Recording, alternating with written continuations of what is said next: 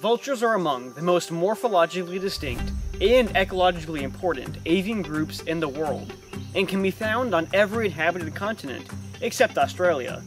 They also have a long history of negative portrayal in our culture. Now, different vultures have a huge variety of different sizes, colors, and behaviors, but today's video focuses on two species that can be found in North Carolina the turkey vulture and the black vulture. Turkey vultures are the most widely distributed New World vulture, with a vast range extending from Canada to Argentina. They are also among the most well known by the general public, often seen gliding on thermal updrafts high in the sky. This flying feat is made possible due to an impressive 6 foot wingspan, coupled with a body weighing less than 3 pounds and allows turkey vultures to cover huge distances on the wing while expending very little energy. In the air, these birds are most easily identified by the lighter colored inner fringes of their wings. If you've seen them from a distance, it can appear that turkey vultures are pretty unexceptional looking birds. While it's true that most of their body is covered with brown to black feathers, when you take a closer look at these organisms, it becomes apparent that they are actually quite beautiful. Their featherless head is often vibrant shades of pink, red, and sometimes even blue iridescence below the eyes. The lack of plumage helps ensure that no leftovers get stuck to their heads during feeding, which reduces the likelihood of bacterial growth and possible infection. But the most unique characteristic about this species at least in my opinion, is their incredible sense of smell.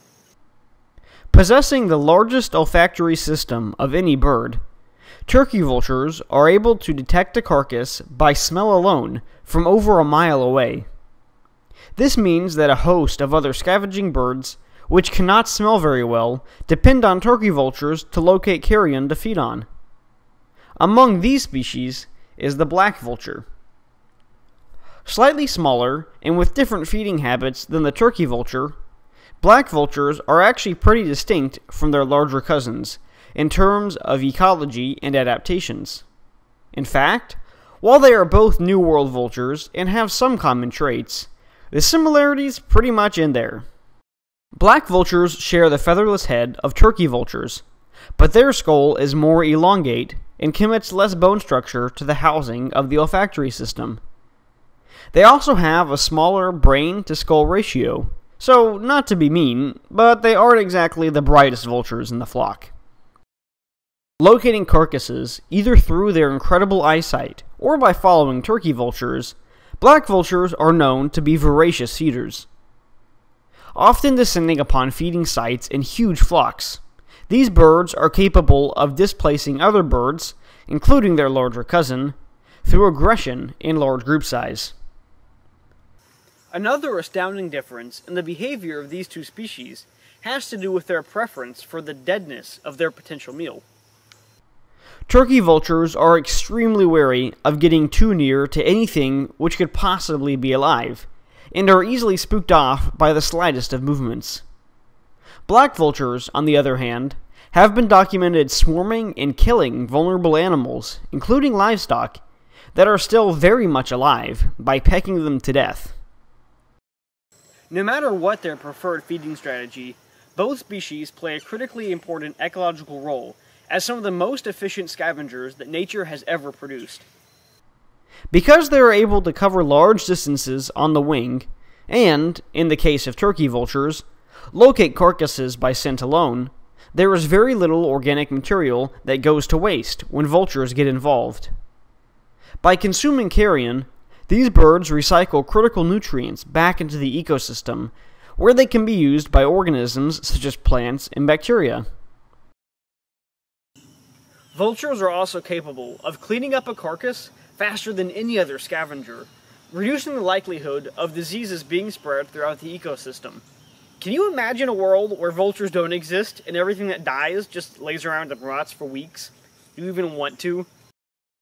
Unfortunately, despite their ecological value, these birds are often regarded as ugly and disgusting due to their appearance and feeding habits.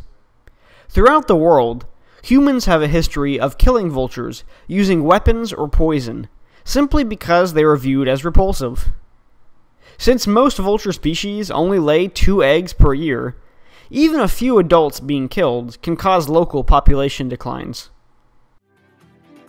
While there has been lots of positive progress towards improving human vulture relations in the past couple of decades, Getting the general public to appreciate the importance of these birds will take everyday conversations between you and me and our friends and family. I invite you to share this video with your social network right now to see what kinds of discussions you can have about the ecological value of these incredible birds. Alright everyone, that's just about it for this video. I really hope that you enjoyed, and learned something new about the turkey vulture and the black-headed vulture. If you did enjoy, please be sure to leave a like on this video, and consider subscribing to my channel for new, educational wildlife content coming every Saturday morning as often as possible. Also, be sure to check out my Twitter and Instagram pages at The Wild Report for photos and video clips from my adventures. Thanks so much for watching, and keep adventuring everywhere. This has been Zino of The Wild Report, signing out.